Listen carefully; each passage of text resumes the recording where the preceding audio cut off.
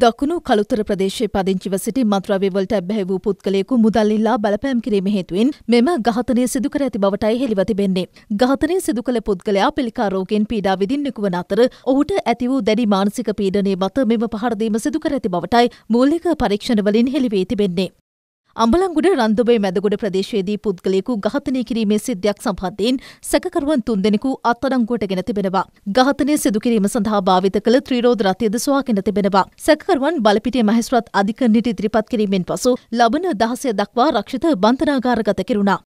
තනමල් විල කිතුල්කෝට්ටේ ප්‍රදේශයේදී සිදු රියානතුරකින් පුද්ගලින් දෙදෙනෙකු බරපතල තුවාල් ලැබුවා. ලොඩු රථයක් මාර්ගෙන් ඉවතට පැන පෙරලියාපෙන් අනතුර සිදු වුණා. ඉන් තුවාල ලැබුවේ එහි රියදුරු සහ රිය සහායකයයි. ලොඩු රථයේ ඇති වූ කාර්මික දෝෂයක් අනතුරට හේතු වන්නට ඇති බවටයි සැක කෙරෙන්නේ.